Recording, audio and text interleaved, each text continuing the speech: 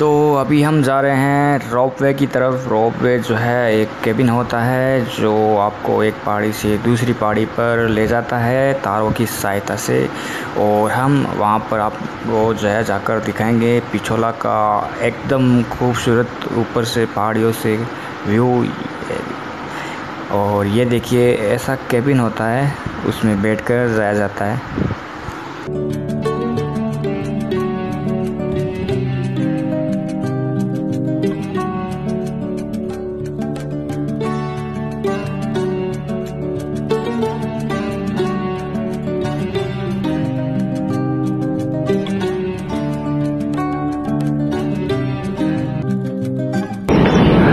ये देखिए उदयपुर सिटी, कितना खूबसूरत नज़र आया उदयपुर सिटी का यहाँ से।